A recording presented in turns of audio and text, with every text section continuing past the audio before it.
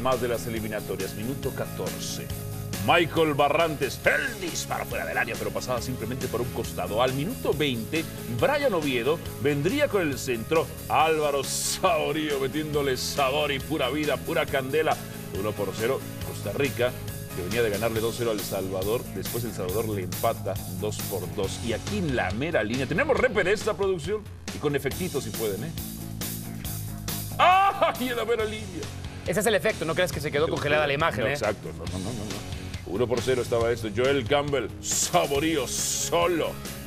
Saborío se convierte en el segundo goleador histórico de Costa Rica en eliminatorias, con 12 goles solo por detrás de Guanchop.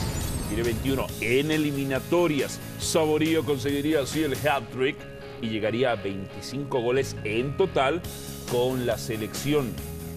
Y después Campbell tiraba así por encima del arquero 4 por 0, 4 por 0. México logró su segunda victoria visitando a El Salvador.